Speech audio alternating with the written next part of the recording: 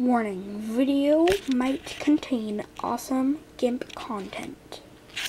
Hey guys, this is Kooper Incorporated. Making another video of GIMP that I'm going to share with you. It's very, um, might blow your mind, or if it doesn't, I don't really care. Because it blows my mind, because it takes like five minutes to do one stitch. Jeez, you're thinking, what, does that have a hundred strings?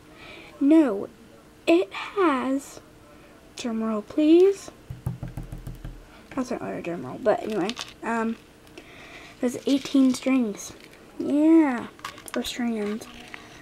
I was going to do more, but I don't want to waste all my string on one GIMP. So, it's, I don't know what it's called. It's just, I don't, I don't know what it's called. anyway, um,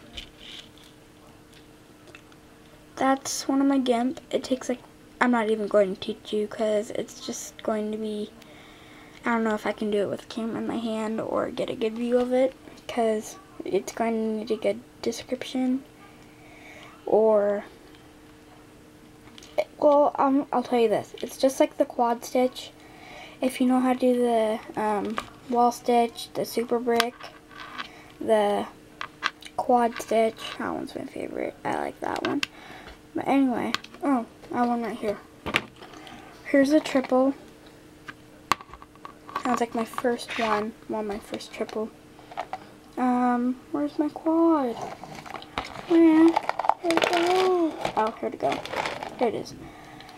Um, I did twisted with it too. More zigzag.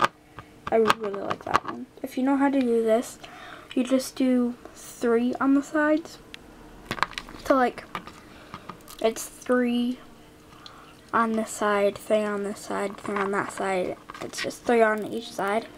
Or you can do four on each side and it will be, um, it'll have a hole in the middle because it isn't small enough to, like the quad is too small to have one. It doesn't have enough strands around it or something.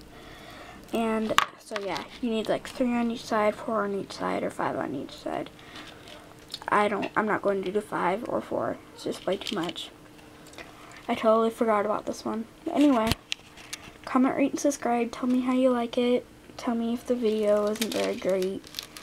Um, if you want to know where I got all my string, just ask, um, just ask if you want to know how to do like the butterfly stitch or like the circle stitch or the zigzag or the triple or how to start it or where I got the string or how much was it or how much money it was. Um just leave a comment in the comment section and I will get back to you. Because I check my channel like three times a day. Okay. Alright um rate thumbs up if you want more GIMP videos. And as you know, this video is a lot shorter.